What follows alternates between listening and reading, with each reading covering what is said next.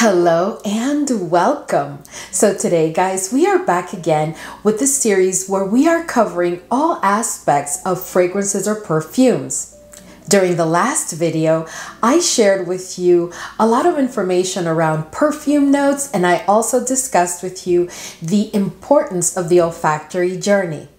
Today, I'm going to be covering with you how to make your perfume last whether it's on skin, whether it's on your clothes, just a couple of tips on how to make your perfume last. As part of this topic, I'm going to start today by speaking about perfume concentrations. What are the different types of perfume concentrations and what are the differences between one and the other? Then we're going to jump right in into the spray part of the video. And I'm going to start by speaking about how to prepare your skin to spray your fragrance. Of course, next we're going to jump into how to spray the fragrance.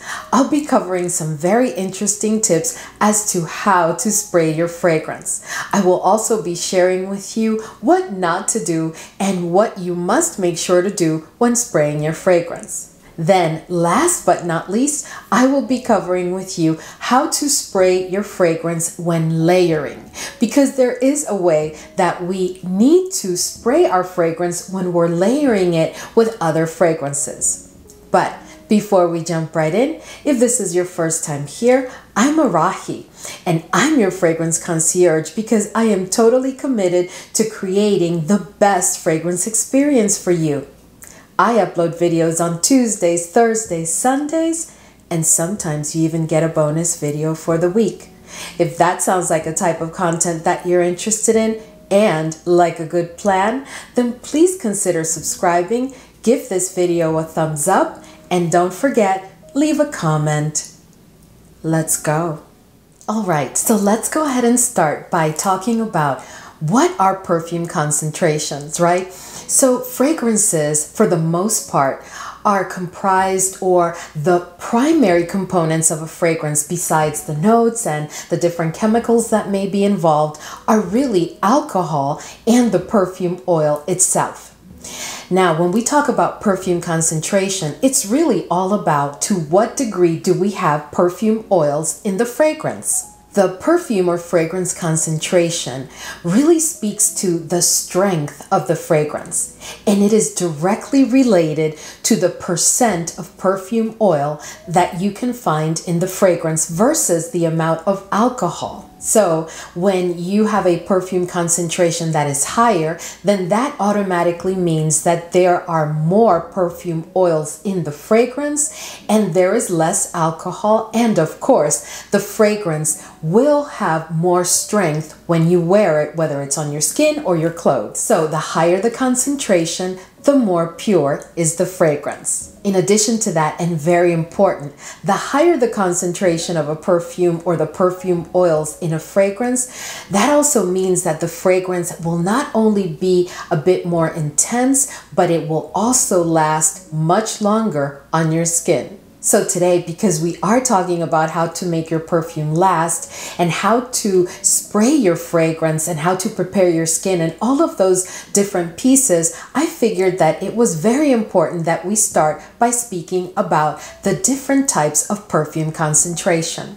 So let's take a look at this quick diagram before we start.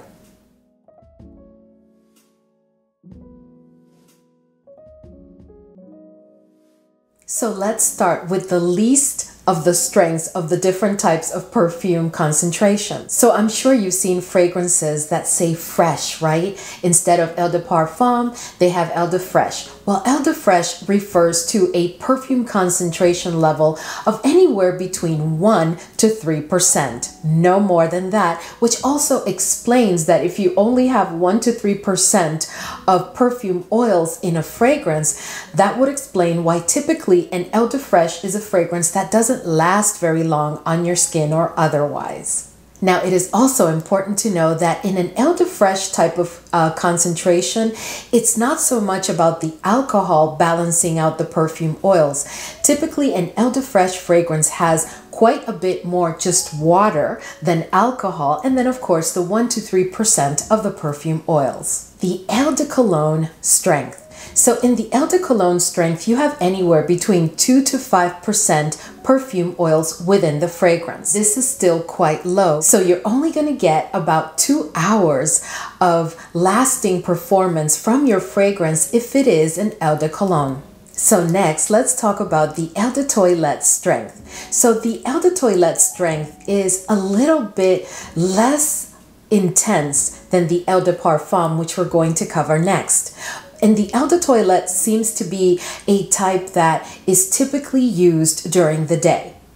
But you're only going to get around three to four hours from an elder de Toilette applied on skin and depending on your skin type and skin chemistry. The elder de Toilette typically will have anywhere between 5 to 15% of the perfume oils. Obviously, because of this drop in the percent of perfume oil that you can find in the fragrance, an Eau de Toilette fragrance tends to be, of course, less expensive than an Eau de Parfum. Next, let's talk about the Eau de Parfum strength. Eau de Parfum has a perfume oil concentration level that can range between 15 and 20 percent.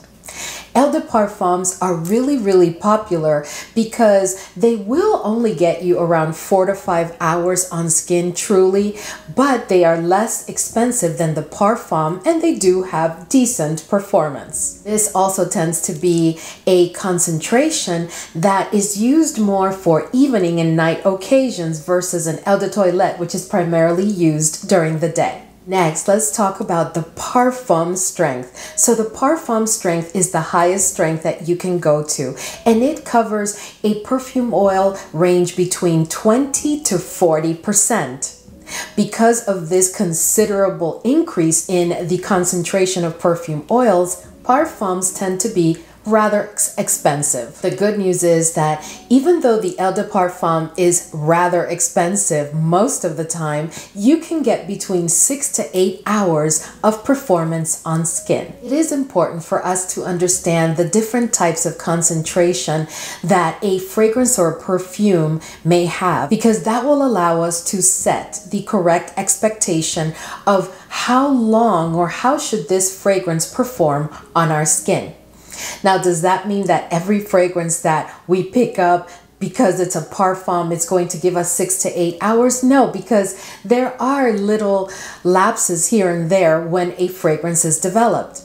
But for the most part, when you pick up a parfum and due to its very high price point, you are going to be expecting the best of performances and you are going to get anywhere between six to eight hours plus from this fragrance. So now that we've covered the different types of perfume concentrations, now let's talk about how do you prepare your skin to spray a fragrance. So I will be giving you five different steps to follow in order to prepare your skin and give yourself the highest chance of getting the best performance from your fragrance or perfume. So let me start by saying that it is very important that when you are about to wear a fragrance or spray a fragrance on your body and clothes, it is very important that if possible, you shower or take a bath prior to doing so. So, taking a shower or a bath before spraying your skin with a perfume uh, does help because of a couple of factors.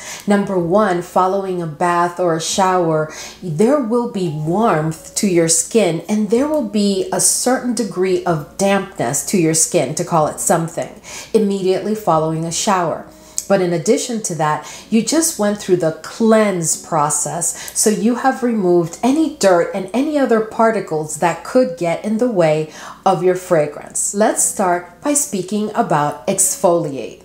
So it is important that you exfoliate because the exfoliation process removes dead skin cells that will only be in the way of your fragrance really being absorbed by your skin in the most optimal way. And because you have those dry skin cells, you may be spraying your fragrance on, you know, dry skin and those may flake off and there goes your fragrance. So it is important that you exfoliate. To exfoliate, you can use anything from homemade exfoliating products comprised of salts and sugar and other things that you can find at home, or you can just pick up a rather inexpensive exfoliating type of bath salt or exfoliating type of product from places like Bath and Body Works, from Amazon, anywhere that you prefer. The second step in the process is cleanse. So after you exfoliate, it is key, it is critical that you cleanse. You want to cleanse by applying, of course, a soap of some sort and lathering it and removing it with water because that will allow you to ensure that all of the dead skin cells that you removed in the exfoliation process or that you lifted in the exfoliation process are now being removed and leaving your skin impeccably clean and ready. The next step is moisturize. And moisturize just entails you applying either a body cream, a body lotion, a body oil, anything that will allow you to bring nourishment to your skin following that cleanse process or your shower or your bath. Now there's different schools of thoughts when it comes around, you know, moisturizing because some people really believe that you should try and use some sort of lotion or cream or body oil that has a scent that is dominant in the fragrance that you're about to use. Then there's other schools of thought that that feel that that, that just interferes with the fragrance itself. So you should really use a non-scented type of product. I have done both, and I honestly prefer to have something that is in sync with the fragrance that I'm going to use. So, for example, today I'm going to, when we talk about spraying, I'm going to be using as the little model fragrance, I'm going to be using Kayali's Vanilla Oudgasm from the Oudgasm collection. And when I apply that fragrance, I love to use my Nest uh, Madagascar Vanilla oil. And those two seem to go rather well. But that's not always the case with fragrances. So you just have to make sure that if you're going to use a scented product to moisturize your skin and prepare the foundation to, to spray a fragrance, you want to make sure that you're picking products that have similar notes or where they both have the same dominant note. The next step would be to use a perfume oil. Now, while I know that many people really don't do or follow this step, I tell you, it does make quite a difference. So after you apply your lotion, then what I recommend is that you apply, just dab a little bit of a perfume oil. It could be a perfume oil that has a note that is similar to the fragrance, or if you're planning on layering, then you can use a perfume oil that has the scent that you would like to layer with your fragrance. Perfume oils really, really make a difference, guys, because perfume oils, it's almost like they seal in your fragrance once you spray it. The next step is to spray the perfume. And we are going to talk in detail about how to spray your fragrance. Everything from where to spray and how to spray. But let me just start by saying that the most important part when spraying your fragrance is that you make sure that you are spritzing and not spraying all over the place. So you want to spray your your perfume or fragrance on the specific points that I'm going to share with you and you want to intentionally spray. You don't just want to do like a mist. Now before we cover on where you're going to spray, it is very important that you understand that you are to spritz specifically in the area where you want to apply the perfume. You don't want to spray a fragrance at such a distance where it loses or misses the target of where you're trying to spray. So if I want to spray in this pulse point, I'm going to take my fragrance and I'm going to be very intentional about spraying right there. So the maximum distance that I would recommend would be here. And here we go. If I spray at that distance, you saw that there was a mist. And of course, the sprayer of a fragrance does make a difference. But for most fragrances, regardless of how the sprayer has been set up, it is important that you get as close as possible, not on your skin, but as close as possible as to be quite intentional. As you can see, now you can see that it is wet from the fragrance. Now I also wanted to stop and talk a little bit about where to spray. I think that it is important that before we talk about where you're going to spray, let's talk about the fact that primarily we should be spraying on our skin not necessarily on our clothes. Not all fragrances are designed for you to spray them on your clothes. Fragrances are designed to be sprayed on your skin. You can spray them on clothes. I spray them on clothes. I spray them on my hair. I spray them everywhere that I feel like spraying them.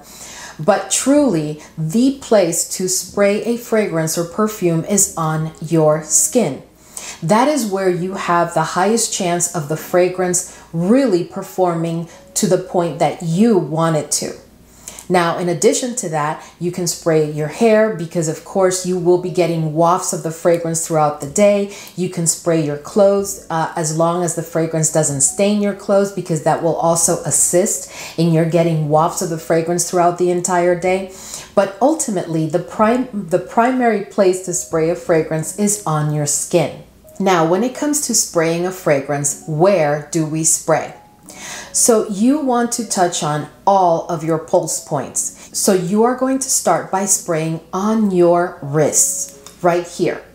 And then you are going to spray behind your ears because if you put your index finger behind your ear, you will find your pulse point. That is where you want to spray. And of course, we all know that we have a pulse point in the neck. So you're going to go ahead and find that pulse point on your neck and wherever you can feel the beating of your heart, you are going to spray there. Then there's also behind the knees. You're going to find your pulse point there and spray there. Now, there are different schools of thought that say that you should also uh, spray, you know, behind your elbows in, in the fold of your arm where your elbows are. I spray there too sometimes, but not all the time. But if you like to just spray extra, well, you can definitely spray there. Now, something very important is to avoid crushing the notes. Crushing the notes refers to when you spray a fragrance on your pulse point and then you automatically spray on the other pulse point and then you just like do this. Have you ever seen someone do that? Because people do do that. You are not supposed to do that because by making that motion or tapping them together, you are crushing the notes. And by crushing the notes, you could have an impact to the integrity of the fragrance and therefore the performance of the fragrance. All you need to do is spray the fragrance on your pulse point and then just let the fragrance dry. Even if it drips just a little bit down your arm, it doesn't matter. Just allow the fragrance to completely dry in your pulse point or wherever you apply it. Another thing that I did want to talk about is the misting in the air theory, right? So there are a couple of school of thoughts around the misting in the air. That's where you spray the fragrance into the air, a big mist all over, and then you walk through it. Personally, I don't believe in that because I just think it's a waste of a fragrance, in, in all honesty.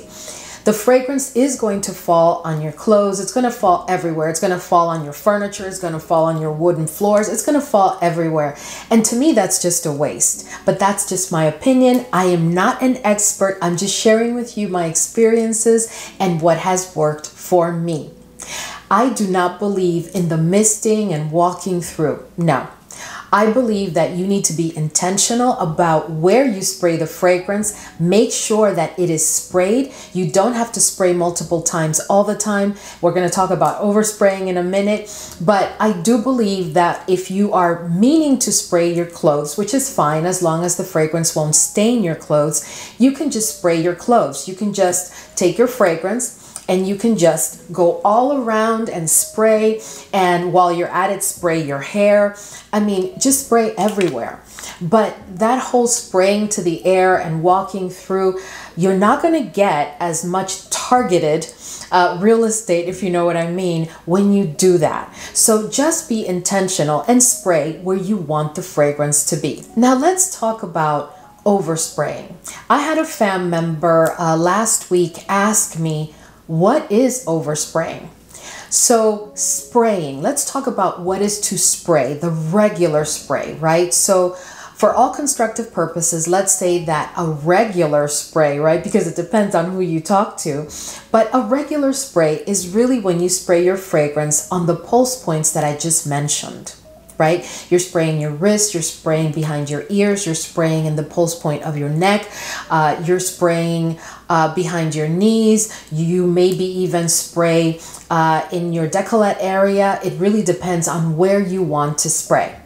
That is a regular spray. And typically when you do a regular spray, you only spritz once. You don't spray multiple times. Now, overspraying is when you, number one, spray more than one or twice at the most in each pulse point. Number two, overspraying refers to when you spray everywhere.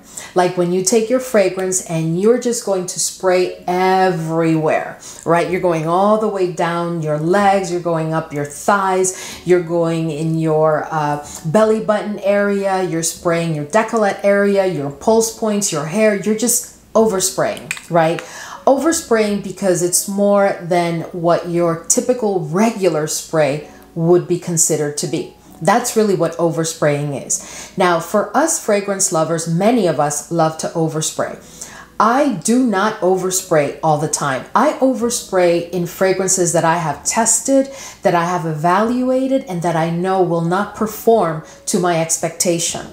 So I will overspray. And then there's also those times where I'm just being extra, I'm having an extra day, and I decide to overspray. But all in all, overspraying is not a practice that I really, you know, employ every day. I really don't because there is something to to be said about when you spray your fragrance and then you can't smell it on yourself. If you overwhelm your nose, then your nose, of course, the, the human body is very smart, it will shut down. It will shut down your ability to sniff the fragrance. So because of that, I'm not really a proponent or much, you know, of a fan of spraying in this area, in the decollete area. Because when you spray in this area, you're immediately going to get that scent, that very, very intense and strong. Once your skin starts to react to the fragrance, you're going to get it in your nose. And when I've done that with a couple of fragrances, it's just turned off my nose completely. And then I can't smell the fragrance for the entire day. And that's not what I want. I love to smell myself, but that's really totally up to you if you like to spray in that area.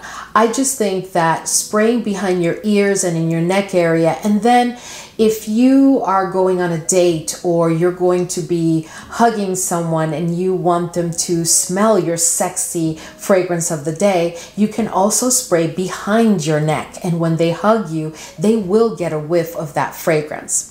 So basically you can spray wherever you want. What I've just given you are what's known to be like the best and most optimal places based on the fragrance industry by true experts, not me, by true experts as to where you should spray.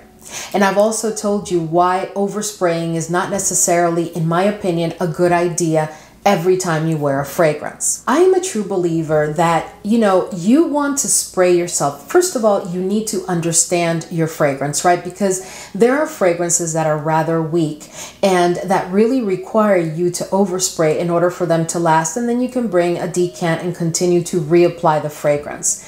But personally, I like uh, people to catch a whiff of my fragrance as I'm approaching, not necessarily as soon as I enter the room. And I also want them to catch whiffs of the fragrance. I don't want it to be a such a strong scent bubble that if I'm standing next to them, they're choking and overwhelmed. I just don't think that that's very polite, but that's just my opinion. You do you, and whatever works for you is what is best. Okay, so now let's talk about layering right? When it comes to layering your fragrances, it is very simple. Whatever fragrances you've decided that you want to layer for the day, you're going to start by applying the most intense or the strongest of the fragrances that you're going to use for layering.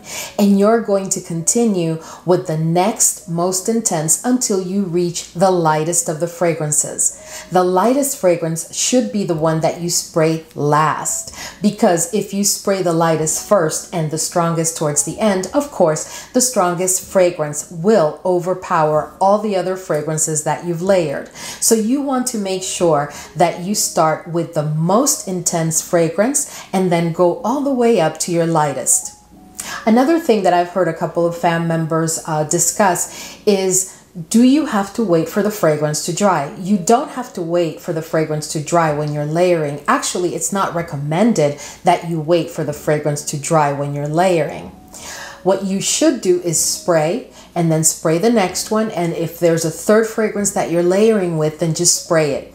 And then they will all dry together. And that makes for a seamless layering exercise and effect. So another thing that I wanted to share before we wrap up this video is you have to understand your fragrance, not just the part, the perfume concentration as I shared at the beginning, but you also need to understand what kind of fragrance are you using? Are you using a Western niche fragrance? Are you using a Middle Eastern fragrance that is high end and will not require maceration? Or are you using a more inexpensive alternative Middle Eastern fragrance, which we all know do require time to sit and macerate?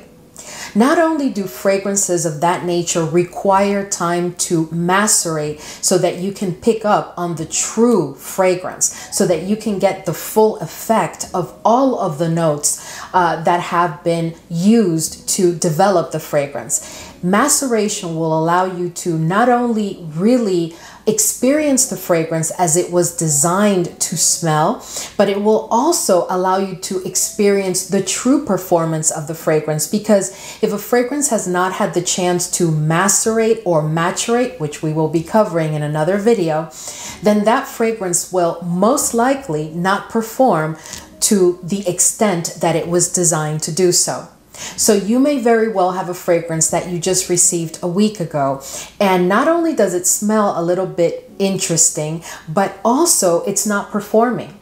Then here I come and I share in a video when I've had the fragrance for a couple of months and sometimes even just for a couple of weeks, but I allowed the fragrance to sit. And I am telling you that it's giving me seven hours and you're telling me that it's not lasting not even an hour on your skin. I honestly in my humble opinion, would really encourage you to number one, make sure that you are taking the necessary steps to prepare your skin for the fragrance, then that you're spraying the fragrance in the correct way, and most importantly, that you've allowed that fragrance to, to sit or macerate. All right, so we've reached the end of today's video, and I just wanted to say, guys, that all in all, Fragrances are designed to be a pleasurable, a beautiful, and exciting experience where you create memories that you should be able to cherish for a lifetime. That's what a fragrance, in my opinion, is really about.